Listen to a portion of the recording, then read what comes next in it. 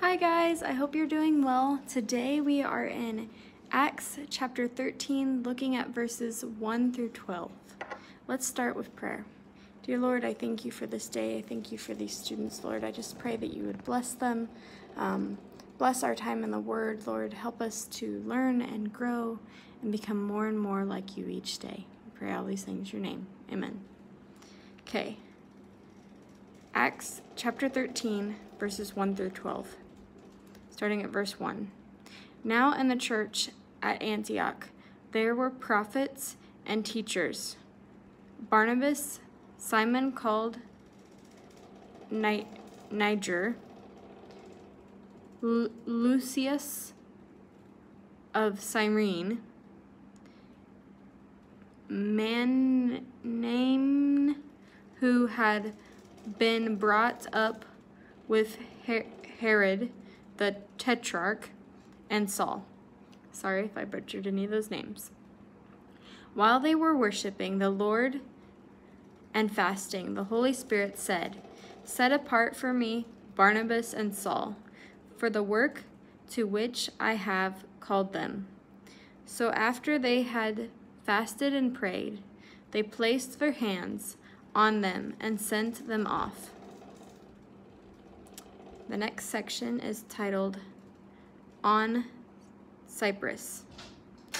The two of them on their way by the the two of them on their way by the Holy Spirit went down to Cilicia and sailed from there to Cyprus.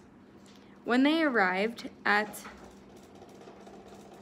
Salamis, they proclaimed the word of God in the Jewish synagogues. John was with them as their helper. They traveled through the whole island until they came to Paphias. There they met a Jewish sorcerer and false prophet named Bar Jesus who was an attendant of the counselor Ser Sergius Paulus. The proconsular, an intelligent man, sent for Barnabas and Saul because he wanted to hear the word of God. But Elymas, the sorcerer, for that is what his name means, opposed them and tried to turn the proconsular pro proconsular from the faith.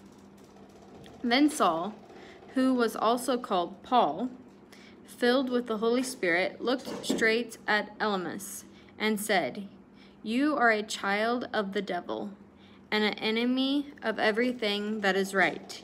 You are full of all kinds of deceit and trickery. Will you never stop perverting the right ways of the Lord?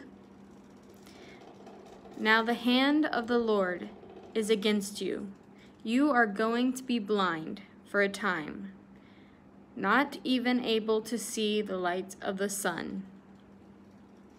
Immediately, mist and darkness came over him, and he groped about, seeking someone to lead him by the hand. When the proconsular saw what had happened, he believed, for he was amazed at the teaching about the Lord. Okay. So,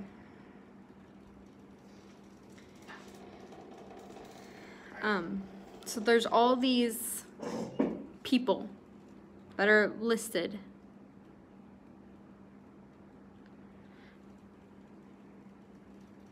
Um, you know, important teachers and prophets and um, there's some false teachers and there's some people that are like trying to figure things out. But while these spiritual leaders were worshiping and fasting the holy spirit told them to set apart barnabas and saul for the work that they were being called to. So they fasted and prayed and laid their hands on them and sent them off to Cyprus. Um, when they arrived where they were going, they proclaimed the word of the Lord in the synagogue. You know, at this time there wasn't like churches and things, so they went to where what they knew. They went to the Jewish synagogues. And John was there to help them. They traveled through the whole island until they came to pa- Paphos. There they met a Jewish um, sorcerer and false prophet, prophet named Bar Jesus. And he was the attendant of a pro counselor. I'm not going to even try to pronounce his name. Um, the proconsular wanted to hear more. He was interested but his helper was trying to stop it, trying to discourage him, um, trying to oppose the faith, and trying to get his um, master not to listen. And because this helper was trying to stop what the Holy Spirit was doing, Paul said, "Fine, you know, you're you're trying to stop what God what God is doing, um, you are going to become blind because of it. And he was. He was turned blind. And then, you know, he's groping around and trying to find somebody to help him.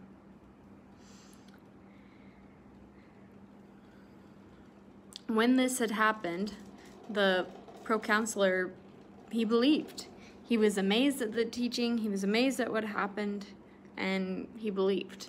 I, I think it's interesting um, that, you know, God uses things to get our attention. If we choose to not believe, if we choose to, you know, try to convince others to stray, God will use what He needs to use to get our attention and to get His point um, across. He did that for Paul, and now He's doing this to this um, servants and yeah so it's it's important that we listen it's important that we obey and it's important that we don't stand in the way of others that want to know that want to hear um, because we who are we to say who god is going to use um, to bring them to the lord? So that is acts chapter 13 verses 1 through 12 we'll talk to you next time.